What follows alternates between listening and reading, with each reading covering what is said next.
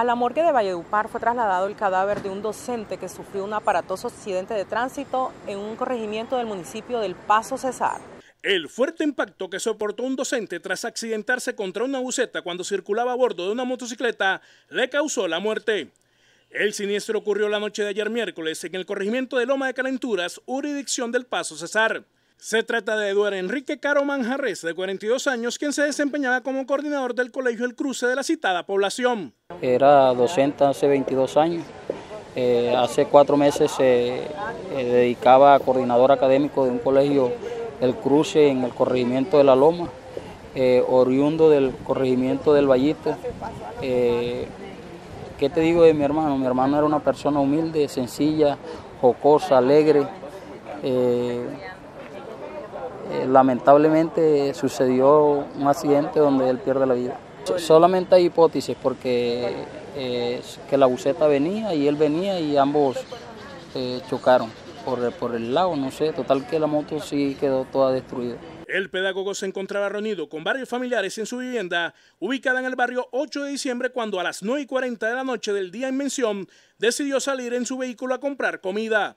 Fue en ese trayecto que sufrió el percance vial que le costó la vida al chocar contra el automotor marca Renault de placas WCX514, afiliado a una empresa transportadora de empleados del complejo minero.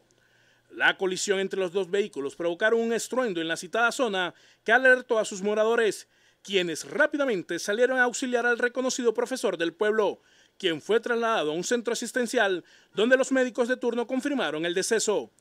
La unidad criminalística de la Policía de Tránsito y Transporte del Cesar efectuaron la inspección técnica al cadáver y posteriormente lo trasladaron a la morgue de medicina legal de Valledupar, donde efectuaron la necropsia de rigor.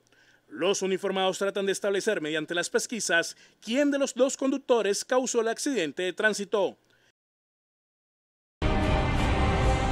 Una señal de mensajería ha sido solicitada.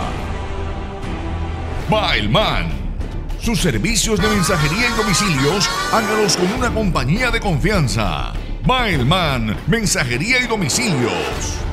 Compras, consignaciones, pagos de facturas, domicilios, encomiendas, trámites. Seriedad, cumplimiento es lo que nos diferencia.